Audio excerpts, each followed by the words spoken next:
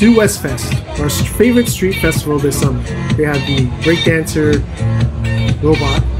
He always draws a good crowd. They have different games throughout the whole time.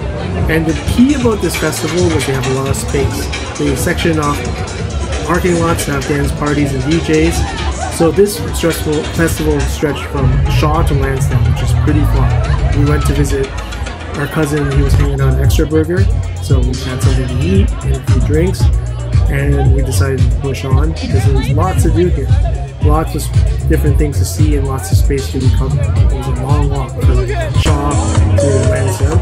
Um, different restaurants have their whole section, quarter section off with DJs, and that was a lot of fun. Lots of street performers because they had a lot of space. That was the key to this festival, right? They had the Peruvian street uh, street performer. He always draws a great crowd. We got Tornado Potato, or whatever flavors that you want on it. That's always one of our favorite things to get. I had to get the grilled squid. That was really good. It got it extra spicy. And we also got some Indian food. We had to sit down. It was so spicy. We were looking for water at that point. But of course, they had lots of different games. The key to this festival was it was really long.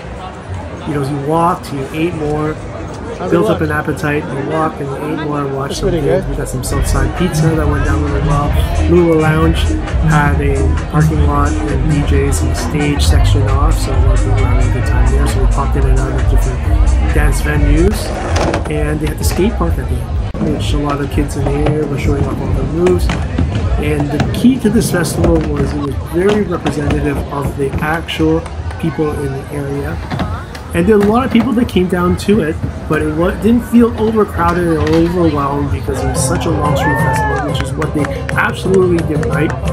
You walked, you watched the show, you ate something, you shopped a little bit, and you kept walking, you danced a little bit, you watched the street performer performing her hula hoop with fire, which was drew a great crowd.